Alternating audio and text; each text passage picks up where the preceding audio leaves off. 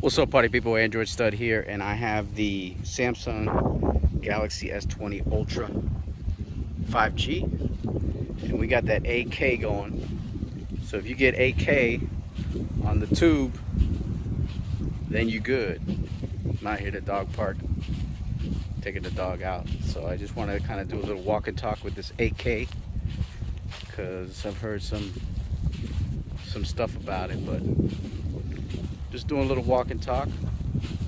See how it's looking out here. It's very sunny day. Very sunny. Very windy. You hear that wind, that's what it is. It's tremendously windy. Do a little zoom in here.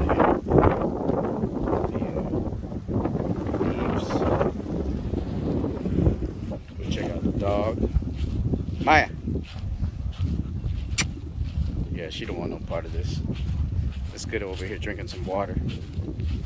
So you guys can get kind of get a feel of the uh cause you know there's 21 ultra cameras, you know, they the you know what I mean? They the let's go over here and get some water for little doggy. You wanna get some water? Yeah, get in there. So the zoom's pretty good. It's cropped in because it's 8K 24 frames per second. So I'm gonna do a little zoom in here. So you get, wow, you get a you get a six times zoom on this, which is phenomenal. Wow. So you can do four, two, one.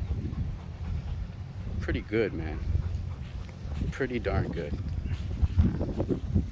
Yeah, man, this is is legit. This is legit. Get a little zoom in there. Focus is pretty on point. I'm telling you, this this Samsung Galaxy S21 Ultra cameras, I'm telling you right now, bro. Pretty good.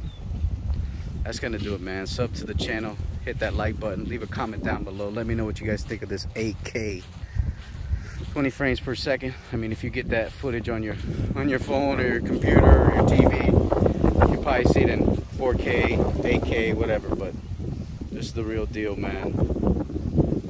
Yes, sir. Follow me on the gram and Twitter, Android Stud. But I'm out of here, man. Peace out, buddy people.